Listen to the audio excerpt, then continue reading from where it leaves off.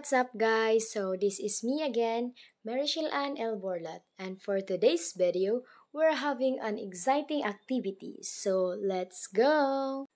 This video going to show how do asexual propagation in the process of growth. But before that, let me share with you some information or describe what's inside our farm. So let's go! So this is our farm with an area of 0.5 hectares. Our farm have different kinds of crops that have an intercropping system. When you look around, some cacao already has a fruit and others are not.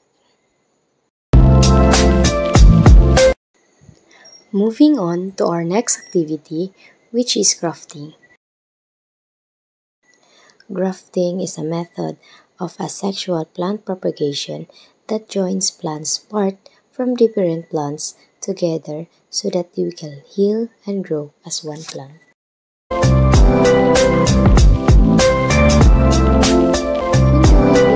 Activity, we must have the materials needed, including a budding knife, pruning shear, and wrap.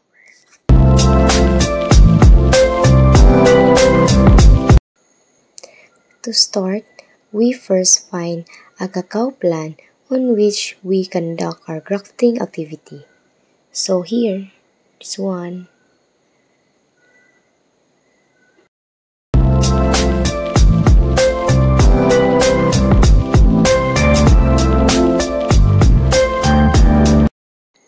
Next is preparing for the scion.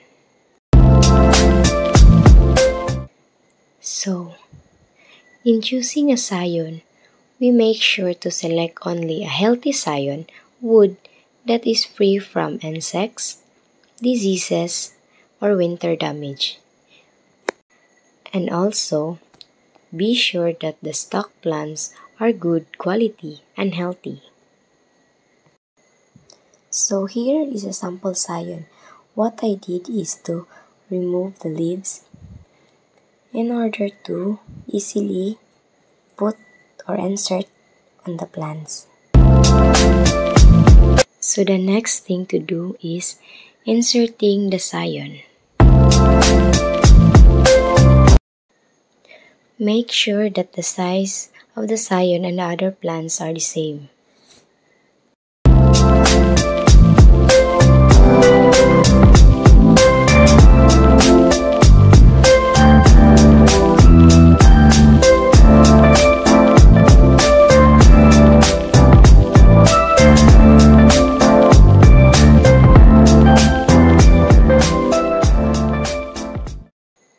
So the next thing to do is preparing a knife. Using a knife to cut a V shape on the scion for easily inserted.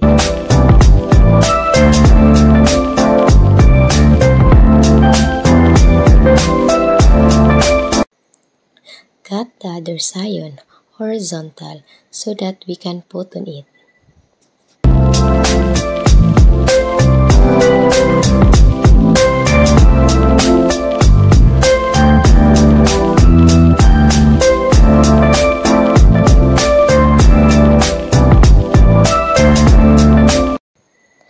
Last is securing of the graft. Secure all the graft areas with an ice candy wrapper to prevent pests and diseases from entering and causing the process to fail. During and after the healing period, remove the wrapper to develop on the scion.